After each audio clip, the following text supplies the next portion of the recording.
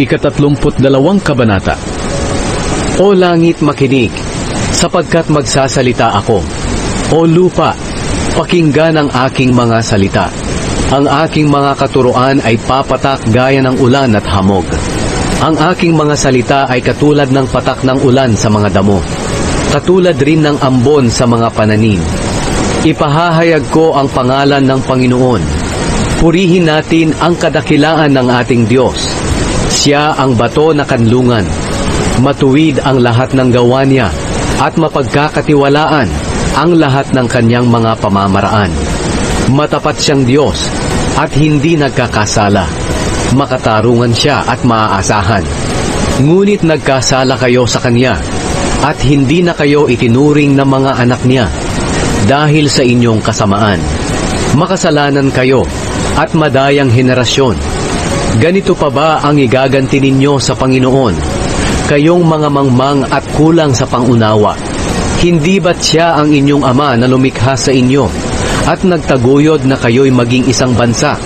Alalahanin ninyo ang mga taon na lumipas. Isipin ninyo ang mga lumipas na henerasyon. Tanungin ninyo ang inyong mga magulang at mga matatanda at ihahayag nila ito sa inyo. Nang binigyan ng kataas-taasang Diyos ang mga bansa ng lupain nila at nang pinagbukod-bukod niya ang mga mamamayan, nilagyan niya sila ng hangganan ayon sa dami ng mga anghel ng Diyos.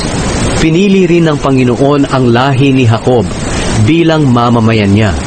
Nakita niya sila sa disyerto, sa lugar na halos walang tumutubong pananim. Binabantayan niya sila at iniingatan, katulad ng pag-iingat ng tao sa kanyang mata. Binabantayan niya sila, gaya ng pagbabantay ng agila sa kanyang mga inakay. Habang tinuturuan niya itong lumipad, ibinubukan niya ang kanyang mga pakpak para saluhin at buhatin sila. Ang Panginoon lang ang gumagabay sa kaniyang mga mamamayan. Walang tulong mula sa ibang mga Diyos. Sila ang pinamahala niya sa mga kabundukan at pinakain ng mga ani ng lupa. Inalagaan niya sila sa pamamagitan ng pulot mula sa batuhan at ng langis ng ulibo mula sa mabatong lupa. Binigyan niya sila ng keso at gatas ng mga baka at kambing at binigyan ng matatabang tupa at kambing mula sa Basyan. Binigyan din niya sila ng pinakamagandang trigo at pinainom ng katas ng ubas. Naging maunlad ang mga Israelita, pero nagrebelde sila. Tumaba sila at lumakas, ngunit tinalikuran nila ang Diyos na lumikha sa kanila at sinuway nila ang kanilang bato na kanlungan na kanilang tagapagligtas. Pinagselos nila at ginalit ang Panginoon dahil sa kanilang pagsamba sa mga Diyos na kasuklam-suklam. Naghandog sila sa mga demonyo na hindi tunay na Diyos, mga Diyos na hindi nila kilala at kailan lang lumitaw, at hindi iginalang ng kanilang mga ninuno. Kinalimutan nila ang Diyos na bato na kanlungan na lumikha sa kanila. Nakita ito ng Panginoon at dahil sa kanyang galit, itinakwil niya sila na kanyang mga anak. Sinabi niya, Tatalikuran ko sila at titingnan ko kung ano ang kanilang kahihinatnan sapagkat sila'y masamang henerasyon, mga anak na hindi matapat. Pinagselos nila ako sa mga hindi tunay na Diyos at ginalit nila ako sa kanilang walang kwentang mga Diyos-Diyosan. Kaya pagseselosin ko rin sila sa pamamagitan ng pagpapala ko sa ibang mga lahi. Gagalitin ko sila sa pamamagitan ng pagpapala ko sa mga mangmang na bansa. Naglalagablab na parang apoy ang aking galit. Susunugin nito ang lupa at ang lahat ng naroon, pati ang kailaliman ng lupa at ang pundasyon ng mga bundok.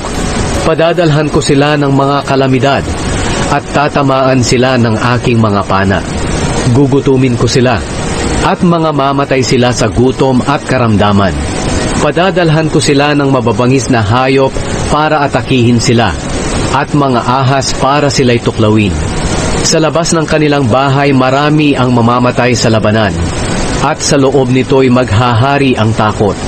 Mamamatay ang lahat, maging ang mga kabataan, matatanda at mga bata. Sinabi ko na pangangalatin ko sila hanggang sa hindi na sila maalala sa mundo. Ngunit hindi ko papayagang magyabang ang kanilang mga kaaway. Baka sabihin nila, natalo natin sila. Hindi ang Panginoon ang gumawa nito. Ang Israel ay isang bansa na walang alam at pangunawa. Kung matalino lang sila, mauunawaan sana nila ang kanilang kahihinatnan. Paano ba mahahabol ng isang tao ang isang libong Israelita? Paano matatalo ng dalawang tao ang sampung libo sa kanila?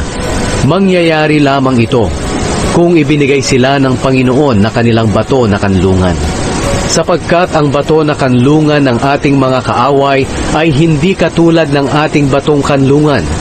At kahit sila ay nakakaalam nito, kasinsama ng mga naninirahan sa Sodom at Gomora ang ating mga kaaway. Katulad ng ubas na mapait at nakalalason ang bunga. At katulad ng alak na gawa sa kamandag ng ahas.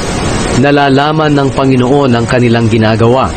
Iniipon niya muna ito at naghihintay ng tamang panahon para parusahan sila.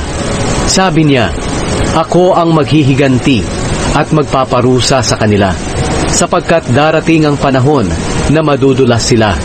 Malapit nang dumating ang panahon ng kanilang pagbagsak. Ipagtatanggol ng Panginoon ang kanyang mga mamamayan. Kaaawaan niya ang kanyang mga lingkod. Kapag nakita niya na wala na silang lakas, at kakaunti na lang ang natira sa kanila, alipin man o hindi. At pagkatapos ay magtatanong ang Panginoon sa kanyang mamamayan, Nasaan na ngayon ang inyong mga Diyos, ang batong kanlungan ninyo? Nasaan na ngayon ang inyong mga Diyos na kumakain ng taba at umiinom ng alak na inyong handog? Magpatulong kayo sa kanila at gawin ninyo silang proteksyon. Tingnan ninyo ngayon, ako lang ang Diyos. Wala nang iba pang Diyos maliban sa akin. Ako ang pumapatay at ako ang nagbibigay buhay. Ako ang sumusugat at nagpapagaling. At walang makatatakas sa aking mga kamay. Ngayon, itataas ko ang aking mga kamay at manunumpa. Ako na nabubuhay magpakailanman. Hahasain ko ang aking espada at gagamitin ko ito sa aking pagpaparusa. Gagantihan ko ang aking mga kaaway at pagbabayarin ang mga napupuot sa akin. Dadanak ang kanilang dugo sa aking pana at ang aking espada ang papatay sa kanilang mga katawan. Mamamatay sila, pati na ang sugatan at mga bilanggo. Mamamatay pati ang kanilang mga pinuno. Mga bansa, purihin niyo ang mga mamamayan ng Panginoon, sapagkat gaganti ang Panginoon sa mga pumatay sa kaniyang mga lingkod. Gaganti siya sa kaniyang mga kaaway, at lilinisin niya ang kanyang lupain at ang kanyang mamamayan. Ito nga ang inawit ni Moises kasama si Josue sa harapan ng mga Israelita. Pagkatapos niyang sabihin ito, sinabi ni Moises sa mga tao, Itanim ninyo sa inyong mga puso ang lahat ng sinasabi ko sa inyo sa araw na ito. Ituro rin ninyo ito sa inyong mga anak para matupad nilang mabuti ang lahat ng sinasabi sa mga utos na ito. Hindi lang karaniwang salita ang mga utos na ito. Magbibigay ito sa inyo ng buhay. Kung susundin ninyo ito, mabubuhay kayo ng matagal sa lupain na aangkinin ninyo sa kabila ng Hordan. Ipinaalam ang kamatayan ni Moises. Nang araw ding iyon, sinabi ng Panginoon kay Moises, Pumunta ka sa Moab, sa kabundukan ng Abarim, at umakyat ka sa bundok ng Nebo na nakaharap sa Jericho.